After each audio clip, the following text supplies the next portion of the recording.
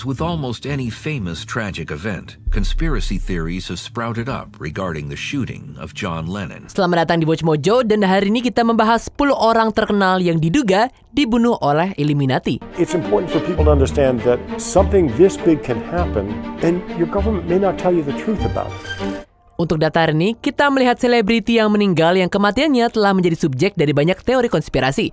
Beberapa melibatkan masyarakat rahasia, jelasnya gagasan tatanan dunia baru, dan keberadaan Illuminati tidak lebih dari teori konspirasi dan memang tidak dianggap serius.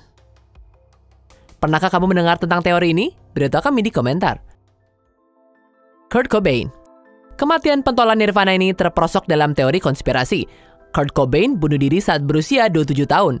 And then this morning, his body found at home, another casualty of success. Namun banyak yang dituduh membunuh artis bersejarah itu dan memingkai kematiannya sebagai tindakan menyakiti diri sendiri. Faktanya, jurnalis Ian Halperin dan Max Wallace menulis buku laris berjudul Who Killed Kurt Cobain, di mana mereka mengandalkan bahwa istri Cobain, Courtney Love, terlibat. Tapi teorinya bahkan lebih dalam dan beberapa yang paling keterlaluan menyebutkan Illuminati. Many others believe the lower four lines are are, are completely different handwriting. What, so they were added by someone else, possibly Courtney? Is that the suggestion? Yeah. Menurut ini, Cobain dibunuh oleh masyarakat rahasia Illuminati karena dia diduga mengungkap intrik mereka di dalam album Nirvana In Utero.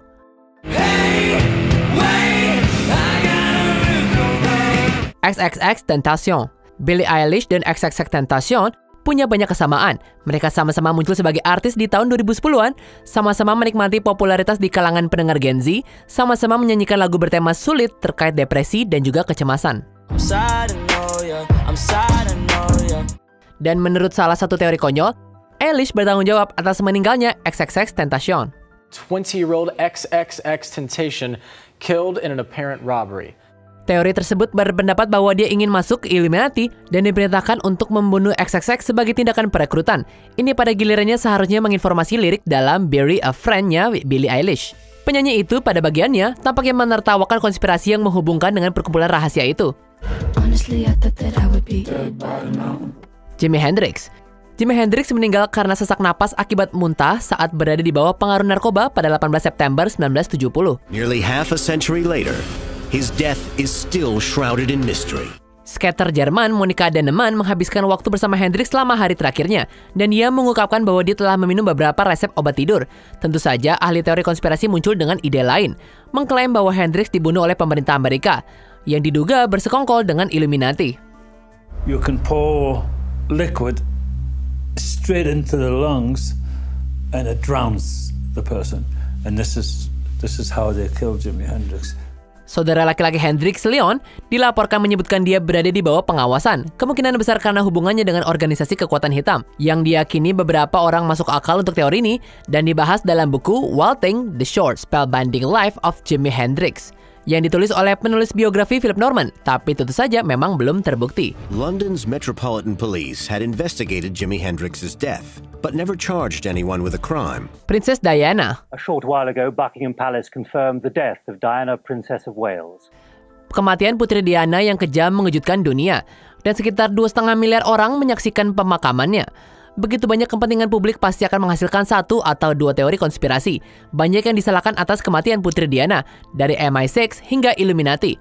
Mereka yang menganut teori konspirasi Illuminati percaya bahwa organisasi tersebut entah bagaimana punya ikatan dengan semua pemimpin besar dunia dan tokoh masyarakat terkemuka, dan itu termasuk keluarga kerajaan. Orang percaya mengira Diana dibunuh oleh mereka karena perceraian publiknya dengan Pangeran Charles saat itu. The letter alleged that a fellow special ops soldier told his wife their unit orchestrated the princess's death and cover up. Polisi menyelidiki banyak teori konspirasi, tapi menganggapnya tidak berdasar. Sebagian besar kesalahan sekarang terletak pada paparazzi dan pengemudi mobil. You believe there was a conspiracy to kill Dodie? They been murdered. Marilyn Monroe Tokoh ikonik The Blonde Bombshell, Marilyn Monroe melihat kesuksesan luar biasa sepanjang tahun 40-an dan 50-an. Namun dia menghadapi masalah pribadi yang intens dan meninggal pada usia 36 tahun dalam keadaan yang tidak diketahui. Marilyn Monroe was found dead in bed under circumstances that were in tragic contrast to her glamorous career as a comic talent. Monroe ditemukan meninggal pada pagi hari tanggal 5 Agustus 1962. Saat itu, koronernya memutuskan bahwa kematiannya disebabkan karena terlalu banyak mengonsumsi narkoba, kemungkinan besar dengan sengaja. In death, Monroe still captivates us as she did in life. Tapi beberapa orang tidak yakin. Norman Mailer terkenal percaya bahwa pemerintah Amerika bertanggung jawab. Seperti yang diungkapkan dalam bukunya yang kontroversial, Marilyn A Biography, teori-teori liar seperti ini hanya berkembang baik selama bertahun-tahun dan telah mencakup mafia dan tentu saja Illuminati. This lack of concrete evidence helps breed speculation of conspiracy and murder. Whitney Houston Salah satu penyanyi paling legendaris dalam sejarah, Whitney Houston meninggal pada usia 48 tahun pada 11 Februari 2012. So far, police and the coroner are refusing to offer details about what may have caused her tragic death. Houston ditemukan di The Beverly Hilton sore itu dan kematiannya kemudian dinyatakan sebagai kecelakaan. Dia menderita penyakit jantung pada saat itu dan tenggelam saat berada di bawah pengaruh zat terlarang. Houston's mother, Sissy, reportedly spoke to her daughter and said nothing was out of the ordinary. Satu konspirasi gila mengklaim bahwa Illuminati bertanggung jawab atas keberadaan zat-zat ini dalam sistemnya. Para pendukung teori tersebut menuduh bahwa ini adalah cara untuk memastikan kelangsungan hidup putri Beyonce dan Jay-Z, Blue Ivy Carter. Jujur, teori konspirasinya sangat nggak nyambung, bahkan kita nggak bisa memahaminya. Whitney Houston, simply put, had the greatest voice in the world. She was a gift from God. John Lennon, Beatle pertama yang meninggal, John Lennon dibunuh pada 8 Desember 1980. Former Beatle John Lennon is dead. He was shot a short time ago outside his Manhattan apartment building. Pelakunya adalah seorang pria bernama Mark David Chapman. Motif Chapman dilaporkan banyak, karena dia sudah lama membenci Lennon karena kepribadiannya, cara hidupnya, dan pernyataan kontroversialnya. Dia bukan satu-satunya orang yang membuat Lennon kesal dengan penyanyi yang menjadi sasaran layanan imigrasi dan naturalisasi dan FBI beberapa tahun sebelumnya. Menurut ahli teori konspirasi, kekuatan ini terkait dengan Illuminati, yang diduga memanipulasi atau mengendalikan Chapman untuk melakukan perintah mereka. Chapman mengajukan pengakuan bersalah dan pada 2023 masih di penjara sekarang. What do you make of all the conspiracy theories that have come up in the last 12 years? CIA, mind control, etc. Against the death of John Lennon? Yeah. Uh, hogwash. Martin Luther King Jr. Dunia terhenti pada 4 April 1968 ketika Martin Luther King Jr. dibunuh di Memphis, Tennessee. Dr. Martin Luther King, the apostle of nonviolence in the civil rights movement, has been shot to death in Memphis, Tennessee. Mungkin aktivis hak-hak sipil paling terkenal di abad ke-20, King Jr. adalah tokoh masyarakat utama dan penerima hadiah Nobel perdamaian. Tindakan dan pengaruhnya membuat menjadi target rasis dan FBI. Dan organisasi tersebut memata-matai pemimpin hak sipil ini selama bertahun-tahun. If the FBI believed in early 1965 that their threat would intimidate Dr. King, they would soon find that they were mistaken. Mengingat semua ini, pembunuhannya telah menjadi subjek banyak konspirasi, Bahkan dengan teori-teori gila yang melibatkan Illuminati, ini menetapkan bahwa masyarakat telah membunuhnya karena kecamannya terhadap Perang Vietnam. Karena banyak orang kuat punya hubungan keuangan dengan konflik tersebut. What do you think happened? Government was very involved. John F. Kennedy. Berbicara tentang pembunuhan, mungkin tidak ada yang lebih terkenal dari pembunuhan John F. Kennedy. President Kennedy and Governor John Connally have been cut down by assassins' bullets in downtown Dallas. Presiden Kennedy dibunuh oleh seorang mantan marinir bernama Lee Harvey Oswald yang bertindak atas kemauannya sendiri. Namun Oswald bersikeras bahwa dia adalah kambing hitam sebelum kemudian didakwa atas kematian Kennedy. Tapi Oswald terbunuh hanya dua hari setelah penangkapannya. Sampai hari ini, sebagian besar orang Amerika percaya ada lebih banyak cerita dan bahwa ada semacam konspirasi yang sedang dimainkan oleh pemerintah. There are lots of theories. It was Castro, the Mafia, the Soviets, the CIA, you name it.